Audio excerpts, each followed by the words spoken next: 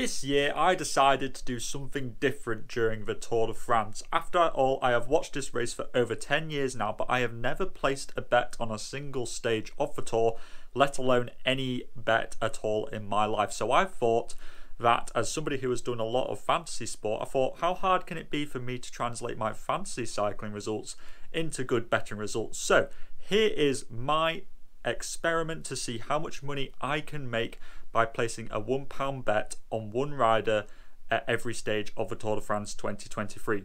The rules are pretty simple. I'm only allowed to put a £1 bet on one rider per stage, and that bet must be placed before the stage starts. So here we go. I'm going to now take you through all the odds for all 21 stages and we're going to see how much money I got at the end of this Tour de France. So to begin with, I started off stage one with one of the favourites, which was Mathieu van der Poel at odds of 9 to 2, which would have returned me £4.50. He was one of the big favourites for this day, and I really believe that he would be winning a sprint at the end of it. At stage two, I decided that it was going to be a headwind on the climb, and therefore some of the more purer sprinters who could climb a little bit would be able to hang on. And therefore, I went for Mads Pedersen at odds of 16 to 1. I thought this was pretty good value, and I saw a lot of other people hyping him up for this stage, so that would have returned me £16. On stage three, I decided that I'd go for one of the big sprinters. There were lots of favourites coming into this, including Jasper Philipsen and Dylan Groenewegen, but I went for Fabio Jakobsen because he won a stage very early on in the Tour de France 2022, and I thought that he would certainly repeat this very early on, probably in the first week of the Tour. Uh, I got him at odds of 3 to 1, which is a little bit longer odds than Jasper Philipsen was, so I thought this was slightly better value. And I then doubled down on this on stage 4. I went for Jakobsen again after he didn't win on stage 3, but he came in 4th place. I doubled down and got an odds of 3 to 1 again, so therefore that would have returned me £3. Stage 5, and it was going to be the first sort of GC action day. I wasn't really too sure what to expect. It could have been a breakaway or one for the kind of uh, for the GC guys to fight out. And I expected a scenario where the GC riders were going to fight it out, and therefore Pogacar was going to win a sprint. So I picked him up at odds of five to two to return me two pounds fifty. Stage six, and I believe that the final climb wasn't hard enough for big GC action, despite the fact that Tourmalet was in this stage. So I went for a breakaway bet of Jack Haig, who looked very good during the Criterium de Dauphiné and I got him at odds of 50 to 1, which was my first sort of dabbling in longer breakaway odds, and is certainly something which I tried further along uh, further along in this race as well. On stage 7, I decided to go for Caleb Ewan. He looked very fast during the sprints uh, earlier on in the week, and I thought that he would certainly be close to getting a win at some point in this tour, and I thought, why not for stage seven? He was at odds of 15 to 4, so therefore that would have returned me £3.75. And then at stage 8, I decided to go for Wout van Aert.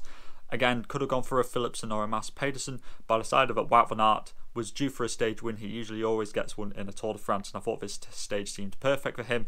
So I got picked him up at odds of 7 to 2, which would have got me £3.50. Stage 9, and I believed that the Puy de Dôme, the steeper gradients would have suited Jonas, and I think that he was going to gain some more time on GC, so I went with him at odds of 7 to 2 to return me £3.50p just before the first rest day.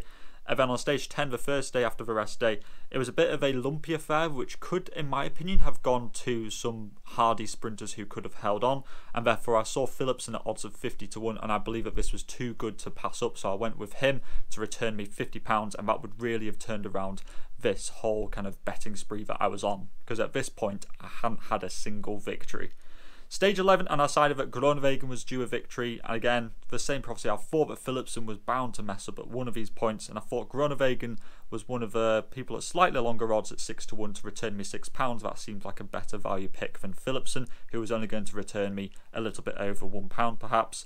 Stage 12 seemed like a breakaway day, a few medium mountains in there, and I thought that this was a perfect stage for Matej Mohoric. I thought he was bound to win a stage in the tour at this point, so I went with Mohoric at 12 to 1 to return me £12.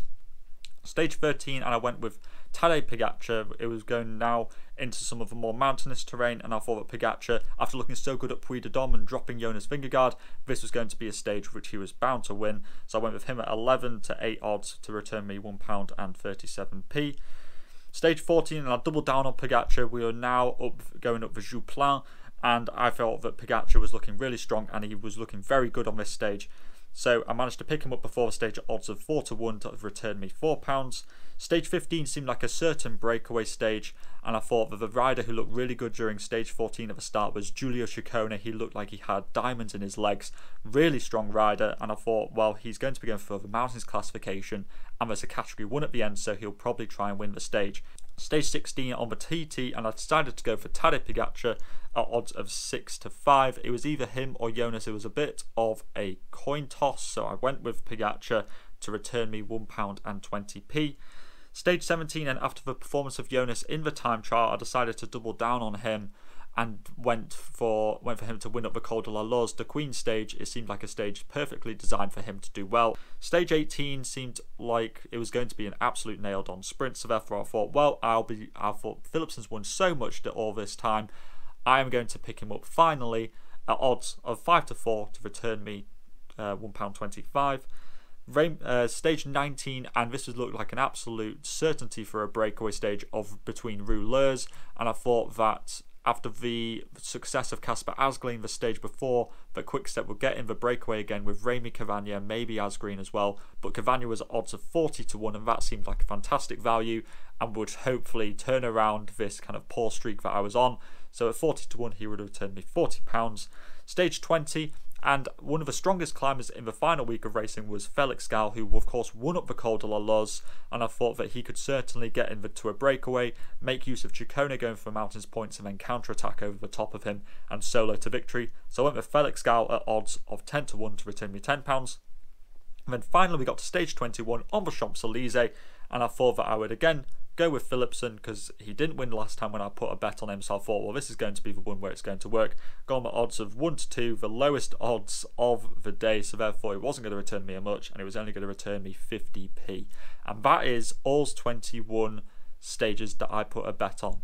And what we can conclude from this is that I didn't get a single stage correct, which was so disappointing. I really thought that I was going to at least get a handful of stages, at least a GC in the sprint days, and maybe get lucky with a breakaway day.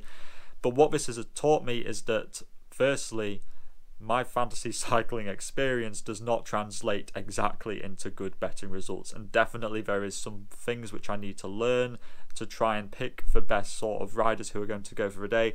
Perhaps pick more sensible choices rather than ones which are more heart and gut picks but ones which are based more upon logic and form. And so therefore we ended up going minus 21 pounds on this challenge which I set for myself. But I am determined to perhaps do this again next year so be sure to drop a like and a subscribe down below and a comment if you think that I should do this again next year and also comment if you put if you would put any bets on the Tour de France this year. I would love to hear some success stories. After all mine did not go very well so thank you very much for watching and all that is left to say is to stay safe out there and I'll see you in the next video.